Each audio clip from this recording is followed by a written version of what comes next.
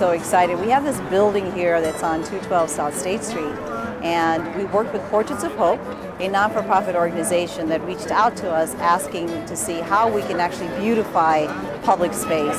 So they reached out to the University of Chicago Children's Hospital and to the Chicago Public Schools Kenwood Academy High School.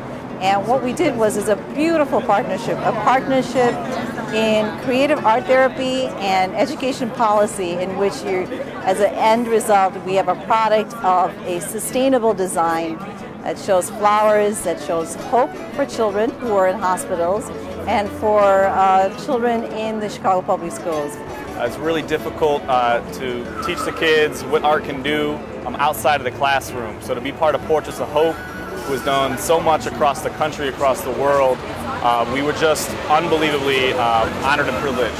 Uh, coming out here today with my, my faithful art students is great. They can see um, what it all looks like. Uh, a couple weeks ago, this was on our gym floor, and now we're downtown. Really excited. I made history. We all made history. I don't know. It's just feels new. good, like helping for a cause, kids with handicaps and disabilities, and not getting a reward for it feels even better. Anytime the kids at Comer Children's get a chance to just be kids and produce art, we're excited.